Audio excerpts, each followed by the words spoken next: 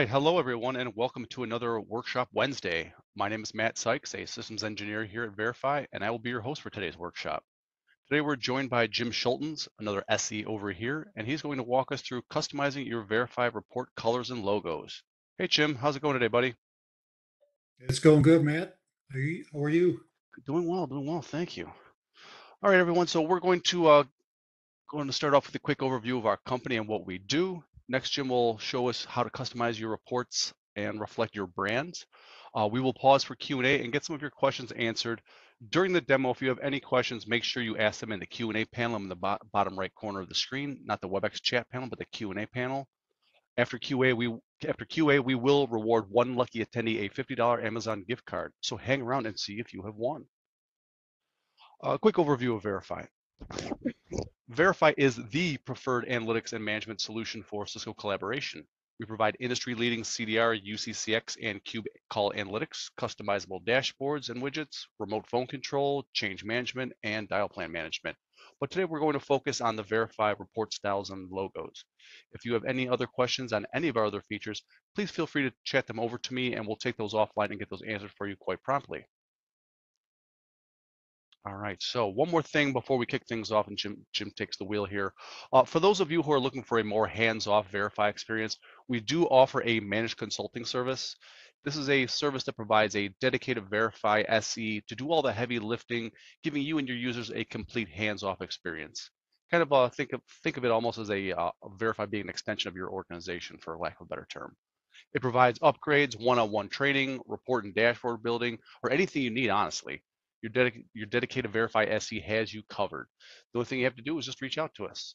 So if this is of any, uh, if you need the additional information on our ECS offerings, feel pleased to reach out to us and we will contact your service manager and get uh, see if ECS is right for you. All right, with all of that said, I'm going to kick it over to Jim and he is going to take us on into the wild. Hello, everyone, and thanks for joining us today. Hope everyone had a nice holiday weekend and gearing up for fall. Uh, fall means cooler weather and football. So today's workshop, we're going to focus on football and tailgate party. No, just kidding. Uh, we will have a football theme today. But as Matt did mention, the real purpose of today's workshop is to go over some ways to add or change colors and logos, add logos to your reports to reflect your brand. Uh, these will apply both to the call analytics reports as well as our all right, so we're going to focus on the appearance section of the settings menu here. That would be right in here. And you notice we've got logos and report styles and settings. So before we get there, I just want to go over real quick. The um, default system logo is obviously Variphy logo. So that's up here in the right corner of the reports. And obviously that can be changed to your logo. And so we're through and show you how that is done. Slide this here. And to do that, obviously, we're going to go back into our settings into logos. As soon as that comes up here, you'll notice the system report logo is the Variphy logo. And I would just edit that, find my JPEG or PNG file. Notice the uh, system size recommendation 120 pixels by 100 pixels. Uh, the reason for that is to kind of keep that logo kind of small so it doesn't interfere or take over the report page. Um, that, uh, you, you, don't want your logo to be the main part of the report. You want your report data to be. Um, however, for demonstration purposes, I am going to pick a larger logo mainly to be able to see it and go with So you've got the system report logo here. Um, and how does that look on reports? So obviously I said this was a bigger logo. I believe this is like 550 by 300 pixels. So quite large for a logo, not something we'd recommend you do. I do go into my reports and run a, just a quick sample report. This really doesn't have any data because I'm running today, but just to give you an idea of what it looks like that Variphy logo I showed you earlier earlier would be replaced with my the football logo. So I've got that up there. and let's say you've got your, your logo, but then you've got a couple clusters. I've got a couple clusters in my tab here. And each cluster wants their own logo as well as the system. Uh, take care of that by going back into logos. And you'll see that down here, if you've got multiple enterprises, you'll have a list to choose from here, but I've just got the one. And over on my right, I've got add or edit cluster report logo. So that's going to be where I choose my logo for each cluster. I'll start with the blue logo. Choose that. In keeping with our football theme, uh, these teams were picked at random. No, no, uh, nothing on my part or Matt's part with picking these.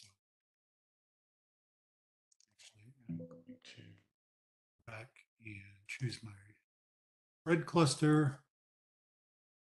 Go for that.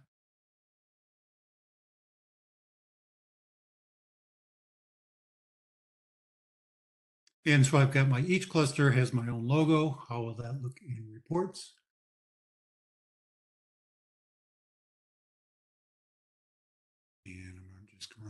Sample report again here. Give you an idea what that looks like. The blue cluster, or what we're referring now to, I guess, as the Cowboys cluster, we are shown that in the upper left corner with our system logo. Back and change my cluster. Red cluster. Let's run another sampler report, mainly for time issue. I'm just running this with no data, just focus on the logos up at the top here. And here's my red cluster or the Chiefs cluster. All right. So let's say you want, um, you don't want the system logo. You want each cluster to have their own logo, but you don't want the system. We can do that. Kind of a workaround way to do it because if you notice up in the logos or the main system report, the only option I have is edit or I can restore my system default logo. Click on confirm, that's going to bring me back to my verified. So what I did, I took my screenshot tool and just snapped a picture of a small white area, white space here, and upload that guy. Saved it as a JPEG file. So I've got my blank white JPEG, save that. So it really doesn't show a logo, even though there's a logo there, a small white logo, it doesn't show and it doesn't affect the reports. Quick report, I'm just gonna do a cluster, run that real quick. And logos will only show up on the PDF reports. So if I ran this in HTML, you would not see this or Excel or CSV. It's just for the PDF. So again, got my cluster logo. I don't have a system. Um, if by chance you don't want, you want the system logo without a cluster logo, but you don't want it on the right, you want it on the left, uh, you can just go ahead and into your cluster logos, obviously, just change your cluster logo to what you want your system logo to be on both clusters and that same. Here, choose my football system logo. I would do that here, and then I would do the same for here, and it would show up on the. We don't have the ability to move a cluster logo to the right side of the report. It's mainly formatted said, if you want your system logo on the left, you can just put your system logo as each cluster logo. Or if you only have one cluster, you just put it as one. All right. Um, I think that covers it for logos. Here, notes, good. So we're going to move on to the uh, report styles and settings. Here.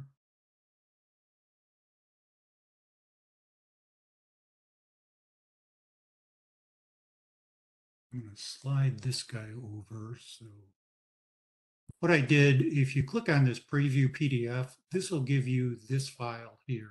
It's kind of an example of what will show on the report.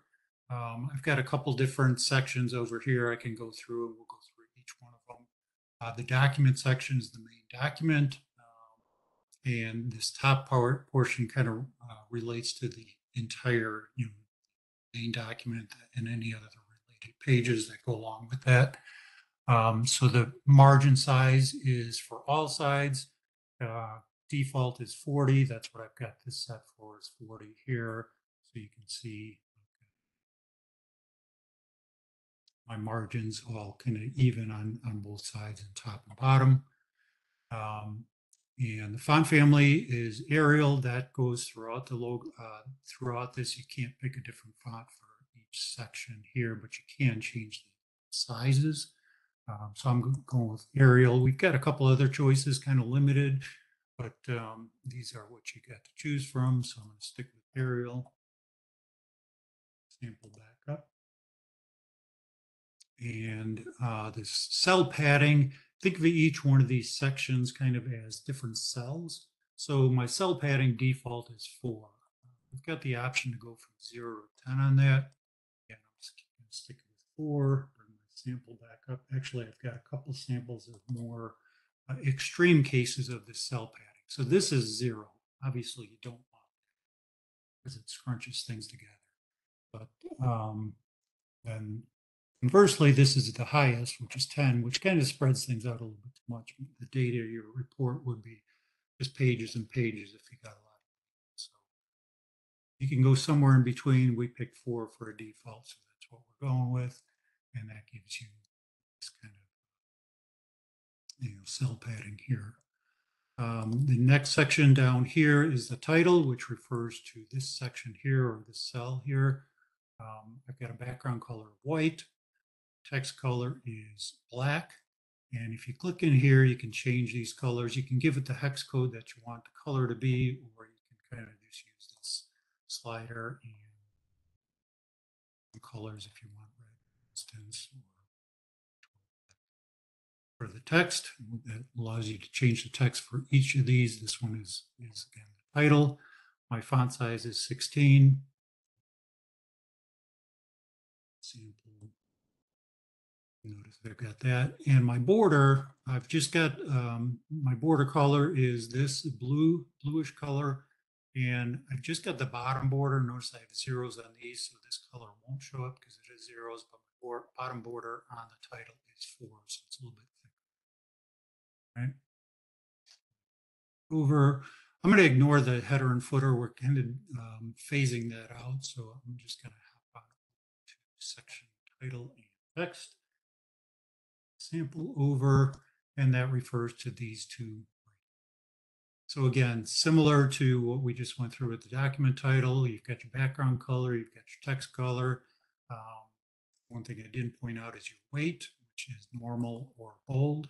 So you can bold anything you want as far as text and our size 12, which is a little bit smaller than what we had our document title set to.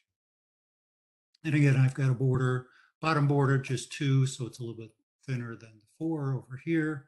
And then my section text, similar with uh, no border on the bottom of that. So, um, and a little bit smaller font size for that. Right. Again, any of these, if you know your hex code for your color, your company color, you can just type it in here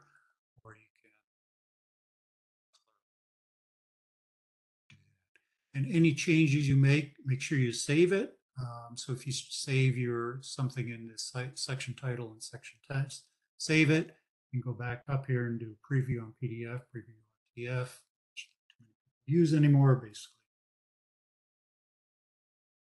It's either Excel, PDF, or some cases HTML. So you can preview what whatever you changes changes you make instead of going back and forth.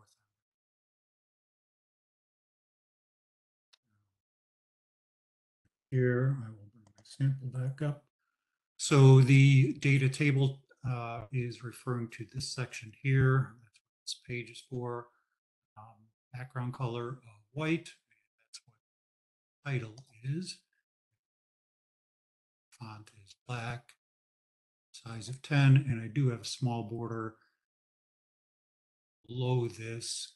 It's kind of hard to see because it does blend in with that color, but if I blow that up, see a small border on the bottom of this. Um, next section is my uh, data column header. Notice I've got a different color here, green. This was when I had my default.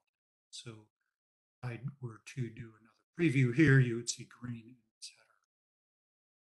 header. And I do have a small border on the bottom of this as well. And notice my um, font color is white for this. So I do have, you know, this white against the blue back. Shrink this down a little bit. And then scrolling on down, the table, data table content cells, that's what's referring to down here below the header. Um, notice I've got a background color of white, but I've also got an alternate background color of kind of a light gray. Uh, what that, that differentiates between different rows of data. So it's easier to see, easier on the eyes. So you've got one row of data here, you can see.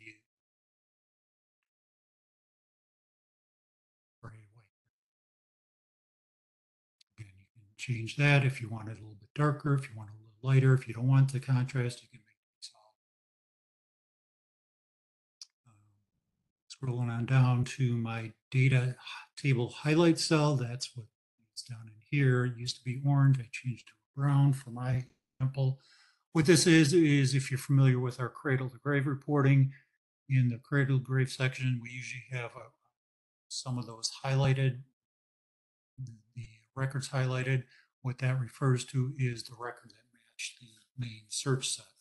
So I'm searching for this, and there's uh, records related to that, but they don't match the search set.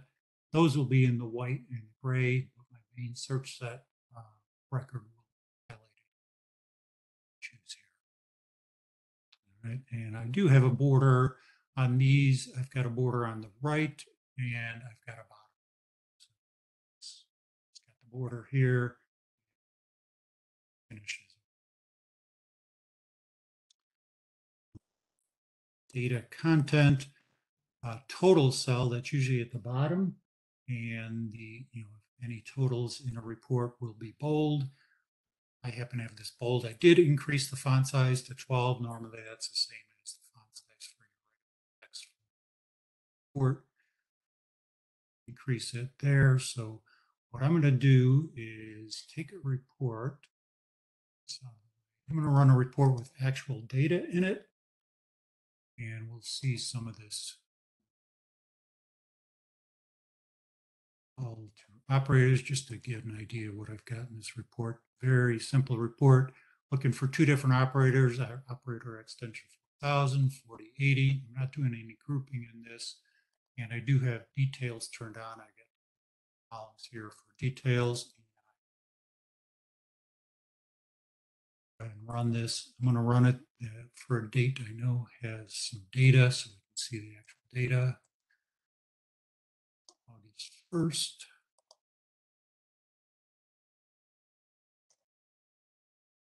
Shouldn't be too much data, so it shouldn't take too long, but it will take a little bit longer than obviously a report with no data. And uh, I do have some cradle to grave here, so it'll take a little bit longer to generate, but you'll be able to see um, that the um, colors that I chose will be displayed here.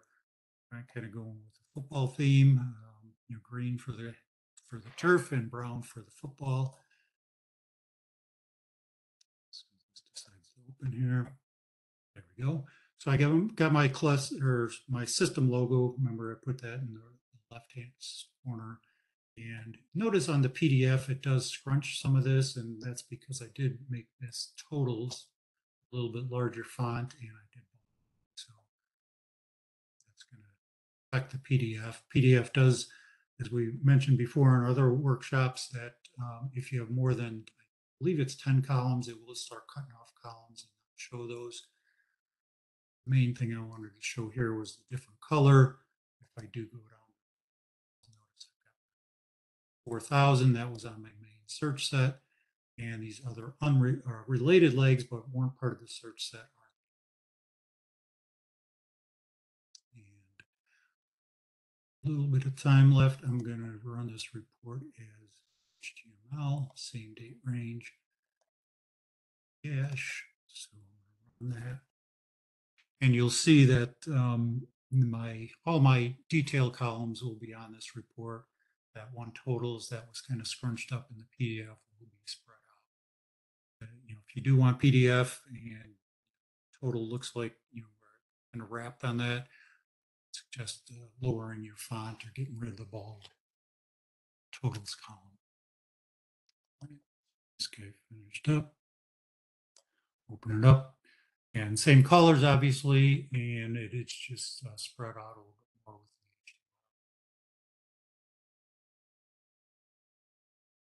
the details of my cradle grave. And you'll see the different the header color and the cradle grave search set record that was found as part of the search set. All right. Um, couple other things that you can do with this. Into the report styles and settings. If you don't want to go through, um, you know, the GUI on this, if you're more of a, JSON type person, you can export this to a file. Create a file. So over. So if you prefer to edit your uh, styles here, you can do that. GUI myself, but uh, power to you if you do this. You can make your changes and then you can export.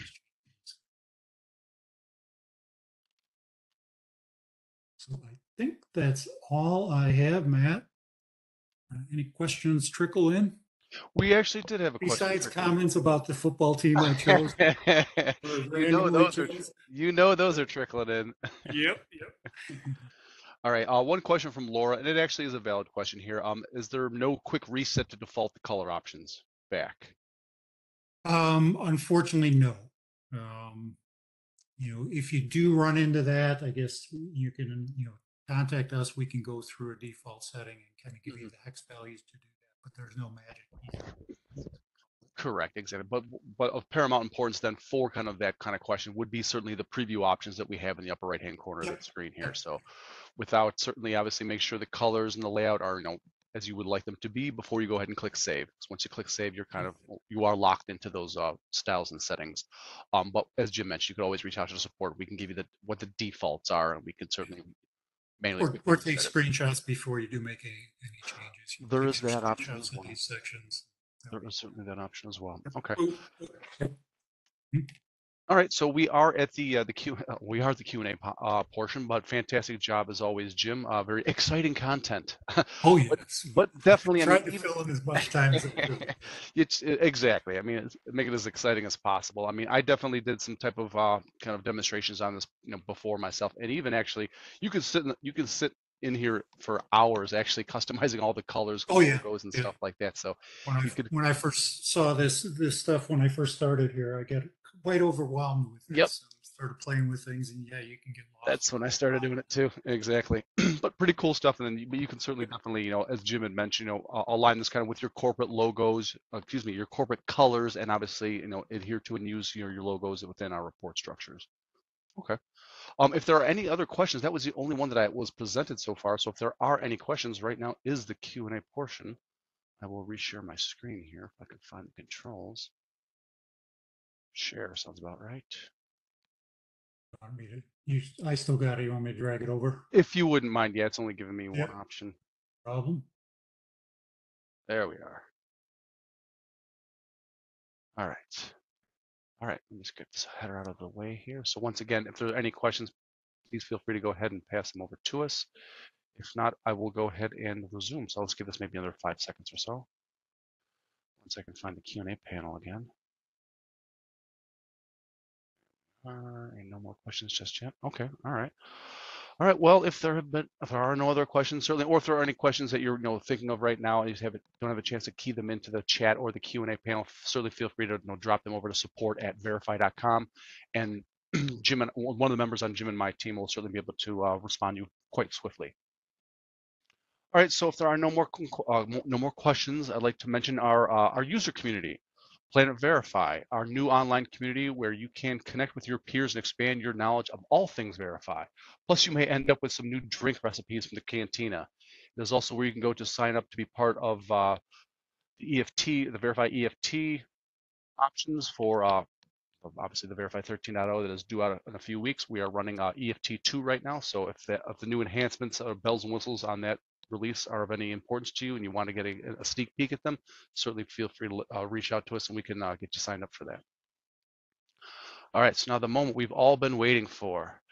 And the week, the winner of this week's workshop gift card is, drumroll please, Alan Dang. Woo! Congratulations, Alan. Your account manager will be reaching out to you shortly to get you paid. Okay, fantastic. All right, now don't forget to join us next week where Mike and I will showcase how to migrate a Variphy system from a Linux OS to a Windows OS. I get the pleasure of going ahead and uh, running with that content, so please feel free to join us for next week. Uh, but definitely, everyone, uh, thank you for taking your time out of your day today and joining us. Have a great rest of your week, everyone. Thank you and take care. Thanks all.